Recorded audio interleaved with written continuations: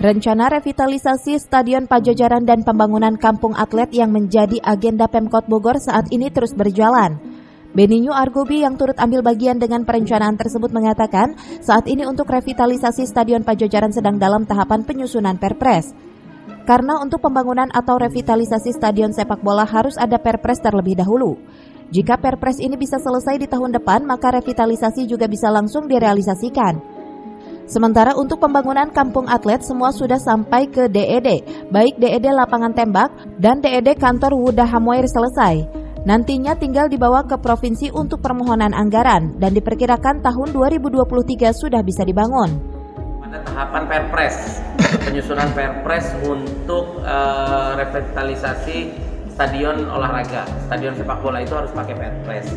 Uh, kalau Perpres ini ditandatangani tahun depan, rencananya tahun depan juga akan langsung segera membangun. Seperti itu. Internasional.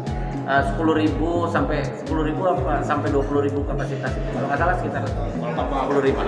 Kalau hari ini DED lapangan tembak, DED wisma atlet dan DED kantor yang sudah hampir jadi. Nah kalau itu semua sudah jadi, tahun depan akan kami bawa ke provinsi untuk uh, permohonan anggaran. Jadi 2023-nya kita bisa mulai membangun. Dari Kota Bogor, Cevi Suryadi melaporkan.